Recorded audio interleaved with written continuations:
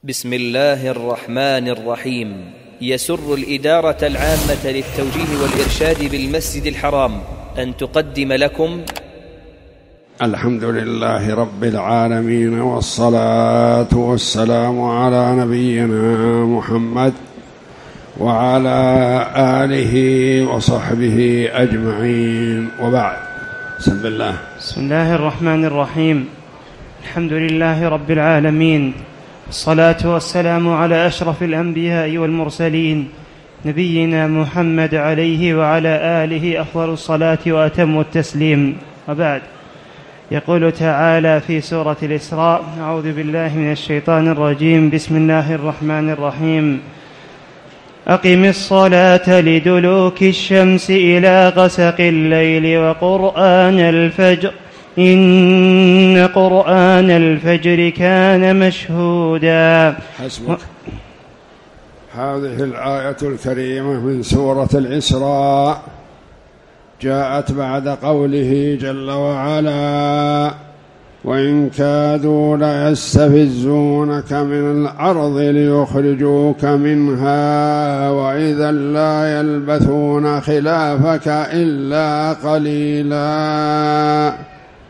سنة من قد أرسلنا قبلك من رسلنا ولا تجد لسنتنا تحويلا. أقم الصلاة لدلوك الشمس. يقول الله جل وعلا لعبده ورسوله محمد صلى الله عليه وسلم أقم الصلاة. أي حافظ على صلاتك وأقمها كما يجب عليك بركوعها وسجودها وما قبلها من وضوء وخشوع واستقبال قبلة وما إلى ذلك. أقم الصلاة لدلوك الشمس لدلوك الشمس تحرك الشمس بعد وقوفها. دلوك الشمس اختلف فيه أهل العلم رحمهم الله على قولين. قال بعضهم دلوك الشمس غروب الشمس. دلوك الشمس غروب الشمس. وبعضهم قال دلوك الشمس. زوال الشمس إلى جهة المغرب. وإلى كل القولين. فالمسألة واضحة بحمد الله. أخذها المسلمون عن رسول الله صلى الله عليه وسلم. فصلاة الظهر والعصر بعد دلوك الشمس وصلاة المغرب والعشاء إلى غسق الليل.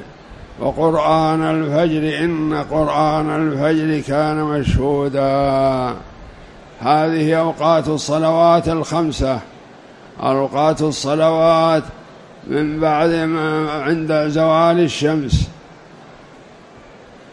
عند زوال الشمس يدخل وقت صلاة الظهر ثم يليه وقت صلاة العصر عند استواء الشمس عند استوائها واستمرارها في الدلوك ثم يأتي وقت صلاة المغرب ثم بعدها صلاة العشاء إلى غسق الليل وقرآن الفجر صلاة الفجر.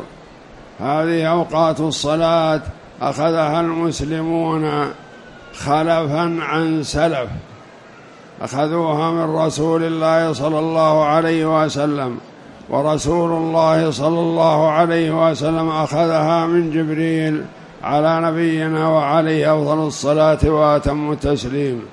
جبريل أتى إلى النبي صلى الله عليه وسلم وصلى به في أول الوقت. ثم صلى به في اليوم الثاني في آخره وقال له يا محمد الصلاة بين هذين الوقتين. أوقات الصلاة لا خلاف فيها ولا إشكال لكن المسألة في دلوك الدلوك المراد به هنا ما هو؟ يدخل فيه وقت صلاة الظهر والعصر أو يدخل في وقت صلاة المغرب والعشاء. وكلاهما حق ولا بأس بذلك فالدلوك تغير الشمس وتحركها. إذا تحركت الشمس لجهة المغرب دخل وقت صلاة الظهر ثم يليه وقت صلاة العصر ثم يليه المغرب والعشاء ثم صلاة الفجر. قيا صلاة قرآن الفجر عبر عنه بالقرآن. لأن أكثر ما في صلاة الفجر قراءة القرآن. قالوا يجوز التعبير عن الشيء بأكثر أفعاله. فمثلا تقول اركع مع الراكعين يعني صل معهم اسجد مع الساجدين اسجد معهم وصل حافظ على الصلوات الخمس. فهكذا ينبغي للمؤمن أن يصاحب المسلمين فيما يفعلوه طاعة لله جل وعلا. أقم الصلاة لدلوك الشمس إلى غسق الليل والغسق هو ظلمة الليل إلى ظلمة الليل صلاة العشاء. ثم عبر عن الفجر بقوله وقرآن الفجر إن قرآن الفجر كان مشهودا يعني القراءة في الفجر تحضرها ملائكة الليل وملائكة النهار كما جاء في الحديث عن النبي صلى الله عليه وسلم يتعاقبون فيكم ملائكة بالليل وملائكة بالنهار ويجتمعون في صلاة الفجر وصلاة العصر فيسألهم ربهم وهو أعلم بهم جل وعلا ما كيف تركتم عبادي؟ يقولون أتيناهم وهم يصلون. وتركناهم وهم يصلون. وهكذا بنو آدم الخيار منهم فيهم شبه بالملائكة يذكرون الحسنات ويتناسون السيئات. وأما المنافق فهو بخلاف ذلك يذكر السيئات ويتناسى الحسنات. فعلينا أيها الإخوة إذا ذكرنا أخا لنا مسلم أن نذكر ما نعرفه من حسناته وأنه من خيار الناس ولا نتعرض لسيئاته لعلها غفرت له. فالملائكة يذكرون ما يشاهدون من بني آدم من أفعال الخير ويتغاضون عن السيء أتيناهم وهم يصلون. جاء إلينا ملائكة الليل ونحن نصلي العصر وتركونا ونحن نصلي الفجر. وجاءنا ملائكة النهار وهم وحنا نحن نصلي الفجر وتركونا وهن نصلي العصر وهكذا. وقرآن الفجر القرآن الصلاة. إن قرآن الفجر كان مشهودا لأنه ينبغي أن يطال فيه في القراءة فبدل الركعتين اللتين سقطتا من صلاة الفجر. علينا أن نزيد في القراءة ولا نجعل صلاتنا في الفجر مثل صلاتنا في غيره بل علينا أن نزيد في صلاة الفجر قراءة لأنها يشهدها الملائكة ملائكة الرحمة ومع ملائكة الليل وملائكة النهار. يقول تبارك وتعالى لرسوله صلى الله عليه وسلم آمرا له بإقامة الصلوات المكتوبات في أوقاتها أقم الصلاة لدلوك الشمس قيل لغروبها. وقال ابن عباس دلوكها زوالها. فعلى غروبها وقيل لزوالها والقولان مشهوران عن الصحابة رضي الله عنهم. عبد الله بن مسعود يقول لغروبها وعبد الله بن عباس يقول لزوالها. نعم. فعلى هذا تكون هذه الآية دخل فيها أوقات الصلوات الخمس. فمن قوله لدلوك الشمس إلى غسق الليل هو ظلامه أخذ منه الظهر والعصر والمغرب والعشاء. وقوله وقرآن الفجر يعني صلاة الفجر. قد ثبتت السنة قد ثبتت السنة عن رسول الله صلى الله عليه وسلم تواترا من أفعاله وأقواله بتفاصيل هذه الأوقات على ما عليه أهل الإسلام اليوم مما تلقوه خلفا عن سلف وقرنا بعد قرن كما هو مقرر في مواضعه ولله الحمد. إن قرآن الفجر كان مشهودا. قال تشهده ملائكة الليل وملائكة النهار. وعن أبي هريرة رضي الله عنه أن النبي صلى الله عليه وسلم قال فضل صلاة الجميع على على صلاة على صلاة الواحد خمس وعشرون درجة. فضل صلاة الجماعة على صلاة المنفرد بخمس وعشرين درجة وفي رواية بسبع وعشرين درجة. نعم. وتجتمع ملائكة الليل وملائكة النهار في صلاة الفجر. يقول أبو هريرة اقرأوا إن شئتم وقرآن الفجر إن قرآن الفجر كان مشهودا. وعن أبي هريرة عن النبي صلى الله عليه وسلم في قوله وقرآن الفجر إن قرآن الفجر كان مشهودا قال تشهده ملائكة الليل وملائكة النهار.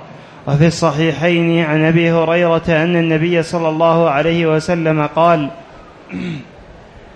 يتعاقبون فيكم ملائكة بالليل وملائكة بالنهار ويجتمعون في صلاة الصبح وفي صلاة العصر فيعرج, فيعرج الذين باتوا فيكم فيسألهم ربهم وهو أعلم بكم. كيف تركتم عبادي؟ فيقولون أتيناهم وهم يصلون وتركناهم وهم يصلون. وقال عبد الله بن مسعود رضي الله عنه يجتمع الحرسان في صلاة الفجر فيصعد هؤلاء ويقيم هؤلاء. وقوله تعالى ومن الليل فت واحد من الإخوان أمس سأل عن ابن جرير الطبري رحمه الله قال أليس هو من طبرستان منسوب إليها. فسكت عن هذا السؤال لأني كنت أعرف أولا أن ابن جرير الطبري من الشام من طبرية وابن القرطبي من قرطبة من الأندلس. فتبين لي بعدما جاءني هذا السؤال رجعت إلى ترجمة ابن جرير الطبري رحمه الله فوجدتها كما قال الأخ من طبرستان ينسب إليها طبري آمل جبر طر أمل جب أمل آمل طبرستان فنسب إليها رضي الله عنه ورحمه وكان من العلماء الأفاضل وأوجد الله له كرامات عدة رحمه الله رحمة واسعة. يقال إنه حفظ القرآن ابن سبع سنين وأما بالناس الصلاة وهو ابن ثمان سنين. وبدأ في طلب العلم وحفظ الحديث وهو ابن تسع سنين. وسافر إلى البلاد الشرقية والغربية إلى كل مكان في طلب العلم وابن عشرين سنة رحمه الله ويروى أن والده رآه وهو صغير جالس بين يدي النبي صلى الله عليه وسلم ومعه حصى يرمي بها. فاشتاق للجواب عن هذه الرؤيا وحرص كل الحرص وخشي أن يكون ولده هذا ضال مضل. يرمي الحصى بين يدي النبي صلى الله عليه وسلم فقال له المعبر للرؤيا هذا إن صدق في ابنك وبلغ فإنه سيكون يذب عن سنة رسول الله صلى الله عليه وسلم فهي بخلاف ما توقعها أبوه رضي الله عنهما ورحمهم. ويروى أنه كان هو وثلاثة معه ابن محمد بن خزيمة ومحمد بن جرير ومعهما اثنان كانوا في مصر وأدركهم الجوع وخافوا من أن يموتوا جوعا لأنهم يستحون أن يسألوا ولم يتصدق عليهم بشيء. فقال بعضهم لبعض لابد واحد منا يروح يسأل لنا طعام يعني يموت من الجوع بس الناس ما يصير. فذهب فقال واحد منهم اللي عليه السهم قال دعوني أصلي. أسأل الله جل وعلا. فصلى ركعتين. ففي أثناء الركعتين جاء واحد من الحكومة من الخديوي من ملك مصر. ومعه شموع كثيرة وحرس كثير. فطرق الباب عليهم وقال أين محمد بن جرير؟ قال ها أنا ذا. ما يدري شبيبه قال أين محمد بن خزيمة؟ قال ها أنا ذا. قال أين محمد المروزي؟ قال أنا ذا. قال وأين رابعكم؟ قالوا رابعنا يصلي. فأعطى محمد بن جرير صر فيها خمسين دينار. وأعطى كل واحد منهم صر فيها خمسين دينار. وقال إذا نفذت هذه فبلغونا. وسلم عليكم الملك ويقول إذا نفذت هذه فيبلغوننا. وذلك أنه رأى في الرؤيا النبي صلى الله عليه وسلم فقال أدرك المحمدين محمد بن خزيمة ومحمد بن جرير ومحمد بن المروزي وغيرهم أدرك المحمدين. فذهب إليهم ووجدهم في حالة شديدة من الجوع والجوع. لم يقدروا على شيء رحمهم الله ولم يستحوا وقد استحوا أن يسألوا. فجاءهم هذه الخمسين الدينار فيها خير كثير. وقال لهم الملك متى ما نفذت بلغونا. فله مقامات كبيرة. وكان رحمه الله حفظ القرآن وعمره سبع سنين. وأما الناس بالصلاة وعمره ثمان سنين وطلب الحديث وحفظه وعمره ثمان تسع سنين رحمة الله عليه. هكذا كان سلفنا الصالح وهو كان غير عربي فتعلم العربية وحفظ القرآن وحفظ السنة رحمة الله عليه وتوجه إلى العراق ليدرك الإمام أحمد ليأخذ عنه. فلما وصل إلى العراق وجد الإمام أحمد رحمه الله قد توفي منذ زمن طويل. لا يدري بعضهم عن بعض وإنما يسمعون بأحمد بن حنبل رحمة الله عليهم. هذا محمد بن جرير وعلينا أيها الإخوة أن نهتم بسيرة سلفنا الصالح وله ترجمة حافلة حسنة جيدة في تفسير في أول تفسير من جرير. رحمه الله. يقول السائل اعتمرت وأكملت العمرة ونبذت من رأسي من كل جهة. نبذة فهل هذا جائز؟ هذا يا أخي لا يصلح. إلا ما دامت أنك تحللت فلا ننقض تحللك وإنما عليك مستقبلا أن تعمم التقصير على رأسك كله. ولا تأخذ من جهة أو جهتين أو أربع جهات وإنما تعمم التقصير كما في حالة مسح الرأس عند الوضوء. فأنت عند الوضوء تمسح الرأس ولا يلزمك أن تمسح كل شعرة بعينها ولا يكفيك أن تمسح بعضه دون بعض. يقول السائل اعتمرت وأكملت العمرة وأخذت من رأسي من كل جهة فهل هذا جائز؟ هذا تقدم الجواب عليه. يقول السائل ما حكم شخص نوى الحج وعمل عمرة في رمضان لنفسه وهو مقيم ثم عمل عمرة ثانية في شوال لأمه عن متوفاه وهو متمتع من العمرة إلى الحج فما الحكم؟ ما عليه فيها هذا هو متمتع بالعمرة إلى الحج. ما دام أنه اعتمر في شوال أو سيعتمر في ذي القعدة ويعتبر متمتع شاء أم أبى فالتمتع ما يلزم أن ينويه تمتع أو يقول إني أريد التمتع أو لا أريد التمتع.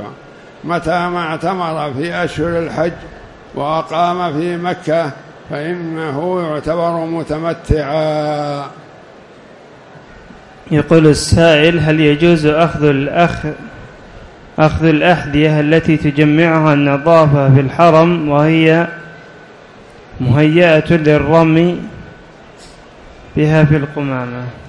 لا يا أخي ما يحق لك أن تساعد هؤلاء تأخذها منهم وإنما دعها لعل صاحبها يأتي إليها فهم يظلمون الناس في هذا وكان الواجب عليهم أن ينتبهوا لذلك ويرفعوا الأحذية ليأخذها أصحابها أو يبينوا للناس بأنها مأخوذة لأن الواحد منا يدخل الحرم ويظن أنه آمن فيه وبحذائه يضعه في جهة منه فإذا جاء لم يجده.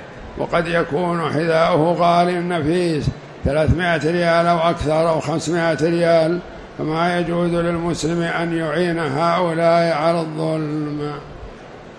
يقول السائل طفل عمره سبع سنوات ترك لباس الإحرام ولبس المخيط دون علم أمه ما حكم ذلك؟ ليس عليه شيء لأن جهل عمد الصبي مثل جهل الكبير فالكبير لو خلع لباس الإحرام جاهلا أو ناسيا فلا بأس عليه وكذلك الصبي. إذا خلع ملابسه ولبس ملابسه العادية فعلى ولي أمره أن يعيد ملابس الإحرام عليه ويلزمه بلباسها ويقضي عمرته على هذه الحال يقول السائل هل يجوز إذا إذا إذا مرت المرأة أمامي وأنا أصلي في المسجد الحرام هل الصلاة جائزة؟ الصلاة صحيحة إن شاء الله ليس عليك فيها شيء وإنما احذر الصلاة في مرور النساء والرجال. ابتعد عن المرور وإذا ابتعدت فلا يضيرك من مر بين يديك. يقول السائل أنا أعمل في الليل وأنام في النهار يأتي وقت الظهر فأصليه في وقته لكن ولكن ليس مع جماعة فهل آثم على ذلك؟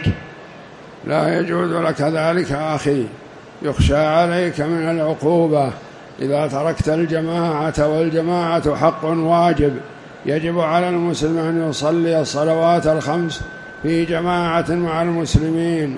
ولا يجوز له أن يتخلف عن صلاة الجماعة.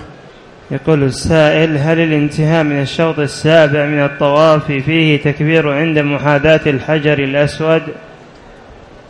النبي صلى الله عليه وسلم المروي عنه أنه كلما حاذى الحجر الأسود استلمه أو قبله أو أشار إليه. فهذه سنته صلى الله عليه وسلم والطائف يحاذي الحجر الأسود ثمان مرات عند أول ما يبدأ وعند النهاية فيحسن أن يستلمه أو يقبله أو يشير إليه وليس بحتم واجب. فلو طاف كل طواف ولم يشر إلى الحجر الأسود فلا بأس عليه. فالإشارة والتكبير عند الحجر الأسود سنة والحمد لله. يقول السائل هل يصح للمسلم إذا خاف من الكفار يتشبه, يتشبه بهم مثل القزع وحلق اللحية والسلسلة هكذا؟ يجب على المسلم أن يكون معتدا بإسلامه ويظهر إسلامه في كل وقت وحين ولا ينضع ولا ينضعن ولا يعاين ويشاهد وهو يشاهد الكفار فيشبه بهم. وقد قال عليه الصلاة والسلام من تشبه بقوم فهو منهم. إذا كان ذلك لضرورة وحاجة ملحة وهو مندوب من قبل الدولة الإسلامية ليأتيهم بأخبار الكفار فلعله لا بأس بهذا إذا كان ليس من باب المشابهة. وإنما يريد أن يسلك معهم ويدخل معهم فلا بأس عليه إن شاء الله. لكن إذا كان يتشبه بهم معجبا بفعلهم وجائز له صنيعهم فلا يجوز له ذلك. يقول السائل هل لأهل مكة أن يتمتعون في حجهم أم لا؟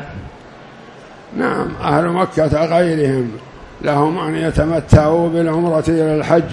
ولهم أن يقرنوا بين الحج والعمرة ولهم أن يفردوا الحج.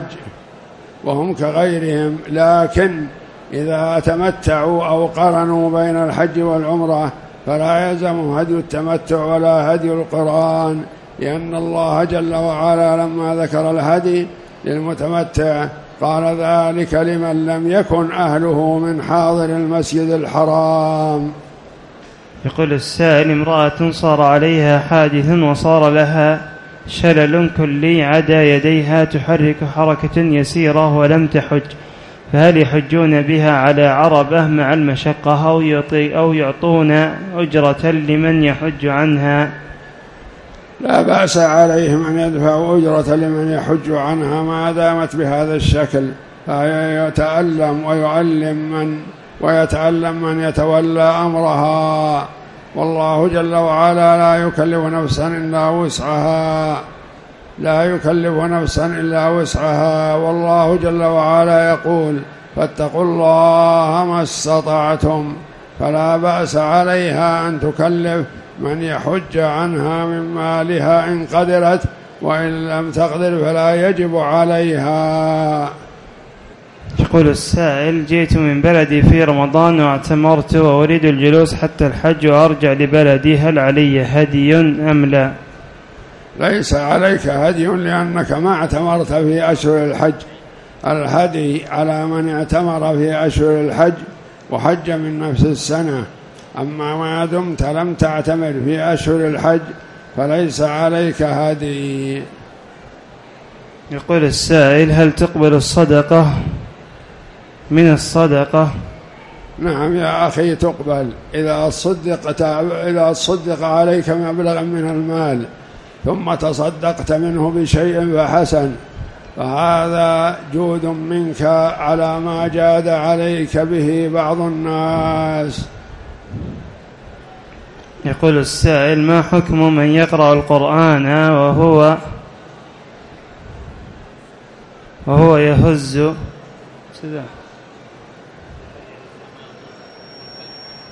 وهو يهتز أماما والخلف أو عن يمين وشمال وليس هذا تشبه بالنصارى واليهود.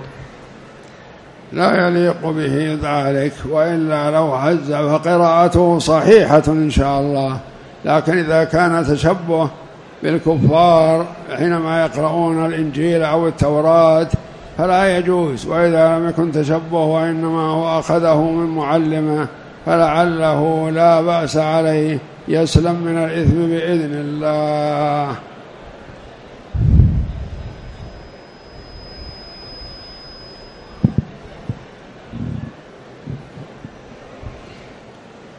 يقول السائل رجل نصراني وهو يموت قال لا إله إلا الله محمد رسول الله فقال له أهله مت على دينك فرفض. فهل, نزو فهل نرو فهل ندفنه في المقبرة أو نزوره في المقبرة؟ هذا أمره إلى الله جل وعلا. إن كان عندما عاين ملائكة الموت قال لا إله إلا الله هذا قد أخبرنا ربنا جل وعلا أنه لا يقبل منه. وأما إذا كان قبل المعاينة فالله جل وعلا جواد كريم. يقبل منه ويحكم له بإسلامه. يقول السائل يقول الله تعالى ويمكرون ويمكر الله والله خير الماكرين. لماذا وصف الله نفسه بالمكر و بالمكر؟ وهل مكره عز وجل نكاية بالمشركين؟ وما المقصود بمكر الله في الآية؟ الله جل وعلا موصوف بصفات الكمال منجه عن صفات النقص والعيب وصفات ربنا كلها كاملة عالية فلا يجوز أن نقول إن الله ماكر أو نقول إن الله يمكر فقط وإنما يقول كما قال الله جل وعلا والله خير الماكرين والله يمكر بالكفار والمكر من الله جل وعلا كمال. وعزة وجود وحسن تصرف رضي عليه الصلاة جل وعلا. فلا يجوز لنا أن نعترض على ربنا في صفاته ولا أن ننزهه عما وصف به نفسه. فالله جل وعلا وصف نفسه بأنه خير الماكرين. ونقول ولا نأتي بصفة المكر لربنا هكذا مجردة وإنما نقول إن الله يمكر بالماكرين. أو يمكرون ويمكر الله أو يمكرون والله يمكر بهم. كما قال جل وعلا فإن سوء أن على إنهم سفهاء ويمكرون ويمكر الله والله خير الماكرين. وهكذا ينبغي للمسلم أن يضبط صفات ربنا جل وعلا وأن لا يؤولها ولا يحرفها ولا يصرفها عن معناها. فهو جل وعلا موصوف بصفات الكمال والمكر من ربنا تبارك وتعالى صفة كمال وعزة ومناعة. صلاة الضحى أيها الإخوة سنة فعلها النبي صلى الله عليه وسلم وأمر بها أبا هريرة وغيره من الصحابة بأن لا يدع ركعتي الضحى. وركعتا الضحى وقتها موسع بحمد الله. من بعد طلوع الشمس وارتفاعها قدر الرمح حتى تقف الشمس في وسط السماء قبل الزوال إلى وقت الزوال عند صلاة الظهر قبل صلاة الظهر بخمس دقائق. كل هذا وقت لصلاة الضحى. وهي مكفرة للخطايا والسيئات يقول النبي صلى الله عليه وسلم. يصبح على كل سلامة من أحدكم صدقة حين تطلع الشمس كل يوم. فكل تكبيرة صدقة وكل تحميدة صدقة وكل تهليلة صدقة. وقال في آخر الحديث ويجزئ من ذلك ركعتان يركعهما من الضحى.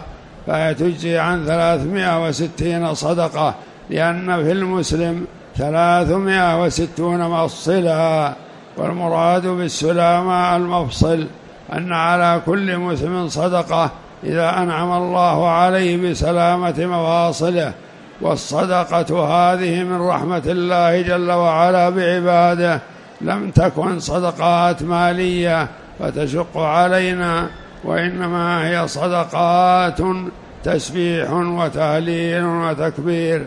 وإعانة المسلم والصدقة كذلك وهكذا كل تسبيحة صدقة ويجزئ من ذلك كله ركعتان يركعهما من الضحى فحري بنا أن نواظب على صلاة الضحى فهو عليه الصلاة والسلام أخبر بها أبا هريرة وقال له لا تدعها وينبغي للإنسان إذا وصى النبي صلى الله عليه وسلم أحد الصحابة بشيء أن يحرص عليه لأن وصيته صلى الله عليه وسلم لجميع الأمة. وأقلها ركعتان وأكثرها ثمان ركعات ولا بأس أن يزيد في هذا لأنه أكثر ما روي عن النبي صلى الله عليه وسلم أنه صلى الضحى ثمان ركعات بدار أم هانئ ضحى يوم الفتح. حري بنا أن نجتهد في هذا ونحرص على وصية النبي صلى الله عليه وسلم. وصى أبا هريرة وغيره من الصحابة بثلاث بصلاة الضحى بركعتي الضحى وأن يوتر قبل أن ينام وأن يصوم ثلاثة أيام من كل شهر. وذلك أن صيام ثلاثة أيام من كل شهر يعدل صيام السنة كلها. والوتر قبل النوم أحوط لمن شك في قيامه لمن لا يدري هل يقوم أو لا يقوم. مع العلم أنه عليه الصلاة والسلام كان يؤخر الوتر إلى الطلوع إلى قبيل طلوع الفجر. كان يوتر في آخر الليل. فإذا تيسر للمسلم أن يوتر آخر الليل فهو أفضل من موتره أول الليل وإذا خشي أن لا يقوم فعليه أن يوتر أول الليل ويرقد. ولا بأس على المسلم أن يحافظ على هذا فإذا رأى نفسه متعب أو يخشى أن لا يقوم آخر الليل فيوتر قبل أن ينام. وإذا استيقن أنه يقوم لصلاة الليل فيحسن أن يؤخر الوتر عند طلوع الفجر. هذا وأرجو الله جل وعلا أن يمن علي وعليكم بالعلم النافع والعمل الصالح وأن يجعلنا جميعا من الهداة المهتدين. إنه سميع مجيب. وصلى الله وسلم وبارك على عبده ورسوله نبينا محمد وعلى آله وصحبه أجمعين.